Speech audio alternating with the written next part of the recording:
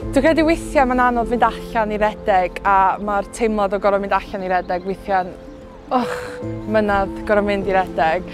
Ond unwaith da chi wedi bod i redeg neu bod am ryn, dwi'n gaddo, chi'n teimlo gymaint gwell a dwi yn joio pan fi'n cael bach o runners high achos mae'n neu fi deimlo ar ben y byd.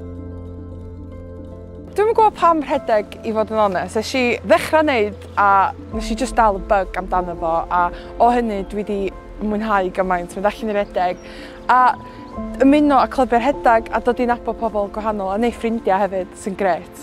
Dwi'n joio mynd allan i redeg yn Abertawe. Nes i, fanna eisiau brifysgol, felly yn amlwg mae'n le special, ond hefyd mae'r golygfeidd yn leis a mae'n really flat sy'n helpu. Oedd y cyfnod yn brifysgol yn eitha anodd a o'n i'n cael dyddiau da, dyddiau drwg a dwi'n credu bod Abertawe wedi gweld y ddwy ochr i fi. Pan ni'n cael diwrnod gwael ac yn mynd allan i redeg, um, hyd yn oed yn ganol sesiwn adolygu a safon helpu'n fawr achos o'n i'n gallu wedyn mynd a gael fideo i adolygu a mynd i wneud gwaith a ysgrifennu syniadau. Felly oedd o'n sbardun o rhywbeth yn ymhenni ac oedd o'n siŵr neud fi deimlo gymaint gwell. Mae gymaint o fuddion o fynd i redeg. Um, Mae'n helpu clirio'ch meddwl chi yn sicr. Mae'n neud chi deimlo well. Mae'n rhoi fwy o egni chi mewn ffordd. Dwi wastad yn teimlo gymaint fwy o egni ar ôl bod i redeg. Cos weithiau na i deimlo fel bod o'n anodd rhoi sgidiau ymlaen, rhoi hop ymlaen, a just mynd allan trwy'r drws na.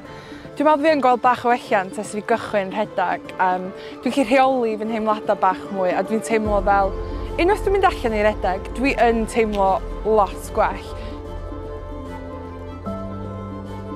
Allan dychmygu um, bywyd heb rhedag, dwi'n teimlo fel mae wedi helpu fi gymaint a hefyd mae o yn rhan enfawr o bywyd fi erbyn rwan. Dwi'n mynd i redeg tra tair gwaith yr wythnos, os nad fwy. A dwi actually really, really mwynhau mynd allan i redeg a dwi'n mwynhau y ffordd mae'r rhedeg yn ei fi deimlo. Mae'r rhedeg yn ffyrdd o hunan ofal mewn ffordd, mae'n gyfle i edrych ar ôl dy hun a amser i di dy hun hefyd. Dwi'n mwynhau roi headphones mlaen a just gwrando ar gerddoriaeth a just roed yr amser yna i fy hun. Weithio ar ôl gwaith neu yn ystod diwrnod gwaith, mae just yn really, really braf a dwi'n meddwl bod o i fi, dwi'n meddwl, dos na ddim troi nôl an, dwi'n meddwl yr hedag yn rhan enfawr o bywyd fi am byth.